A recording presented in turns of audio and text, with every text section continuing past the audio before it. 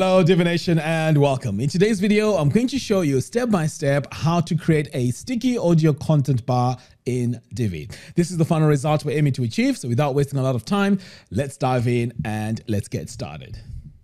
All right, so the first thing we need to do here is to go into um, admin dashboard and create a brand new page. So I'm going to come over here to pages, click on add new. We're going to give this page a name so let's call this podcast. Next, I'm going to say use Divi Builder. And instead of building this from scratch, we're going to choose a pre-made layout. So I'm going to come over here. And the pre-made layout we're going to choose is a podcast-based uh, layout pack. So I'm going to come over here, search for podcast. And the page that we need is going to be the landing page. So here's the landing page. I'm going to go, go ahead and click on it. And then I'm going to say use this layout. All right, so what, I need what we need to do next now is to find the row. So this is the row that um, we need to locate. Now, once we've located this, we're going to add another row below this. So make sure that you're you're hovering over here and you can see here, this is our button to add our row. So I'm going to click here on this plus button, add a single column. And now I'm going to go into my settings of this row. So I'm going to click on this gear icon and then next, I'm going to go to my design tab. So here we need to go into sizing because this is where we need to adjust our gutter width. So I'm going to say yes to use custom gutter width and we are going to set this to one. Next, we need to uh, make sure our width is edge to edge. So I'm going to set this to 100%. Now for the maximum width, I'm also going to do the same. I'm going to set this to 100%. All right, so now that we have this all set, the next step now is to make sure that we have enough uh, breathing space around our row. So I'm going to scroll down here until I find spacing. So over here on spacing, we are going to add uh, top padding of 10 pixels and this needs to be both to the top and the bottom. So I'm going to activate this chain so I can add the value both to the top and the bottom. Next, we're going to add left and right. So here we're going to use a different uh, option. We're going to use percentage. So I'm going to say 10%. And again, it's both to the left and the right. All right, so now that we have all this set, we need to make this sticky. So to make it sticky, we're going to come over here to advanced, and then we're going to come over here to scroll effects. And then here by default, it says do not stick. So we want to stick to the top. So I'm gonna go ahead and select that. So while scrolling, as soon as we get to this area here, this is going to stick to the top which is really, really cool. All right, so now that I've added all that, the next step now is to add our audio content. So let's go ahead and do that. So I'm going to save this. Now, as you're working on this, it may be that uh, it'd be quite difficult to locate where your row is. What you can also do here is to use your layers. So to locate it, I know it's this row here and you can see there it's been selected. So you can uh, expand it and create or add uh, your new modules. So the module I'm going to add is going to come right here. So I'm going to say add new module. And the module I'm going to add is an audio module. So I'm going to search for it and select it. Okay, great. So you can see here that it is now uh, in place. All right, so what we need to do next is to uh, add a call to action. So the call to action we need to add here is just to um, complement what we've just added here. So I'm going to save this and I'm going to look for my call to action and duplicate it. So I'm going to go ahead and duplicate it and I'm going to drag it down just below my player. So there we go. Here's my call to action and here's my player. In fact, you know what? The call to action that I need is the one with the play button. So I'm going to delete that and let's go back and here it is. Okay. So this is the one that we need. So I'm going to duplicate this and drag it down here. Okay, great. So now that I've added it down there, we now need to go into the audio settings and make some adjustments to it. So I'm going to click here on this gear icon. So let's style this by coming over here to design and we're going to start with our title text. So here we need to add our sticky option. So for our title text here, I'm going to hover and make sure I select the sticky option and also make sure I have the sticky item here selected and the size is going to be 14. So you can see there that it will be the sticky option. We're also going to add our line height. So I'm going to come over here and it's going to be 1.3. So I'm just going to set this to 1.3 as my line height. But you see, I've just made uh, the mistake here. When we add our line height, it needs to be on the sticky item. So I'm going to select my sticky here and then I'm going to paste 1.3 EM. Uh, we also need our caption line height.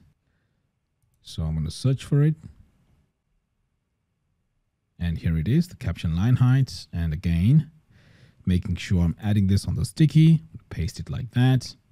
That's looking great. So all it does is it shrinks as soon as, uh, as soon as it sticks to the top. So the next thing we need to do is to change the width of the audio but add sticky. So I'm going to come back, get rid of uh, my search here. So we need to go to sizing. So I'm going to scroll down here until I get to sizing. And what we need here is the width. So I'm going to hover over here, click on this little icon for my sticky option. And then over here on the maximum width on the sticky, this needs to be 100%. Now we need to adjust the spacing for the audio module as follows. So we're going to uh, remove the margins. So I'm going to scroll down here to spacing and for the margins, it's going to set to zero, both to the top and the bottom. And for the padding, it's also going to be zero, both to the top and the bottom. For the left, we're going to set this to zero. And then to the right, we're going to set this to 20. So now we're going to add some uh, CSS code. Uh, so I'm going to come over here to advanced, custom CSS and we need to target the audio title. So I'm going to come all the way down here to audio title, but we want to add it under the sticky tab. So I'm going to click here on the sticky tab. I'm going to paste this like that. Next, I need to uh, look for my audio meta text. So this is going to be, I think it's further down here. So I'm going to paste it here. So make sure the audio title is text align left and then the audio meta is text, al text align left and important. Now, while we continue with this, we're going to go to the player buttons. And then again, it needs to be under the sticky. So I'm going to paste it in here.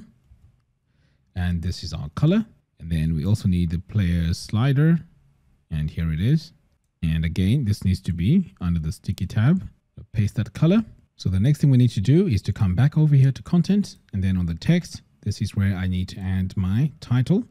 And then over here on the artist, so here is where you would add your album. So once you uh, add all that, you can come over here to your background now and remove the background. And we also need to add our audio here. So if I click on this drop down, you can add your audio file by uploading it. So I'm just going to click here on upload.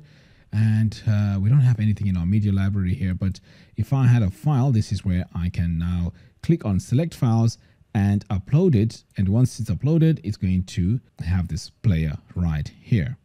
Okay, so let's close out of here. So over here, we also need to um, add a text module. So I'm going to search for my text module and select it.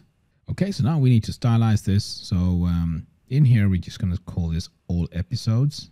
Now we need to go in and stylize it. So I'm going to come over here to design, text. And first of all, I'm going to center it by coming all the way down here to text alignment and center it. And uh, we also need to change our font here. So I'm going to go back and change this to Lato. There we go. And select it. Next, we're going to make this bold. So I'm going to come over here to regular, change this to bold. And for our styling here, I'm going to make it all caps. For the text size, I'm going to set this to 10. And for our letter spacing, I'm going to set this to 2 pixels.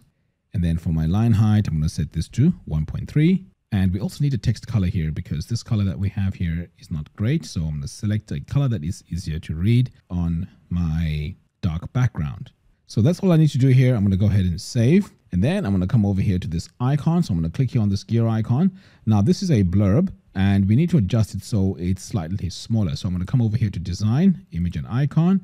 And I'm going to go to icon font size and change the size here from 80 to 50 pixels. So you can see now it's much smaller and that's exactly what we're trying to achieve here. Now let's head over to sizing because there's a few things that we need to adjust here. So first of all, we want to set our content width to 100%. So content width here, let's set this to 100%. For our width, we're going to set this to 20% and making sure it's still centered. So what we're going to do now is we're going to add a background color. So to do that, we need to go back to the content tab, click on background, and we are going to click here on this plus button and paste our background color like that. Okay, next we need to add an image. So I'm going to now click on the third tab, click on the plus button, and this is where we need to add an image. And I have an image here from my media library. I'm going to use this one here and uh, click upload an image. And you can see now that my image has been added to the background, but we're not done yet because we need to add our background image blend. So I'm going to scroll down here and choose luminosity. So here it is. And that's looking much, much better.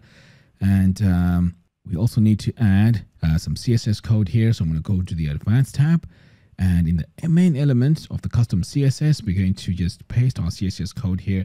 So this uh, it needs to be hidden initially, but after scrolling, we want this to show. So to do or to achieve that, we need to click here on the sticky and then click on the sticky tab.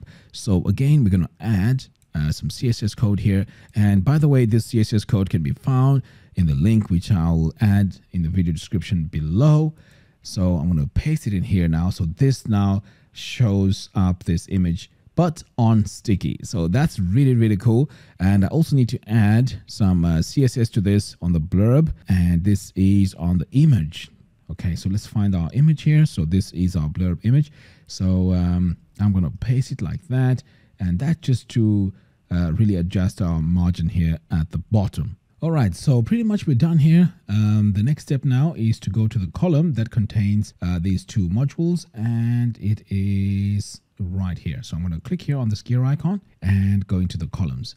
So I'm going to add a bit of CSS code as well because we want that when we scroll, our player is on the left and our image is always going to be on the right. So to achieve this, we're going to come to custom CSS and then on the main element, I'm just going to paste this and this is going to make sure that everything is going to be side by side. So that's the normal state. And we also need the sticky state. So I'm going to come over here, click on the sticky item, click on the sticky tab, and we're going to paste our code in here as well. So you can see now on the sticky state, it is showing, but when it's normal, it does not show. Okay, so now that we have this all set, it's time now to take a look and see what this looks like. So I'm going to save, save one more time, and now when we scroll, notice what happens when we get to the top. There we go. So now it's stuck there at the top. And then when we scroll down, it's released. Pretty cool indeed. So there you have it. Thank you all for watching. If you like this video, please give me a thumbs up and do follow us on our social media platforms. By doing so, you'll be notified every time we release new tutorials. Until next time, thanks for watching and I'll see you in the next video. Take care.